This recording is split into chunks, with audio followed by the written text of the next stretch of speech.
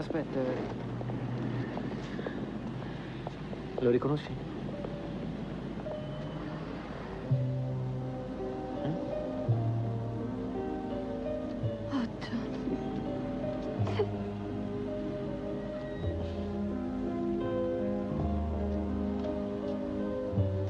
È per te.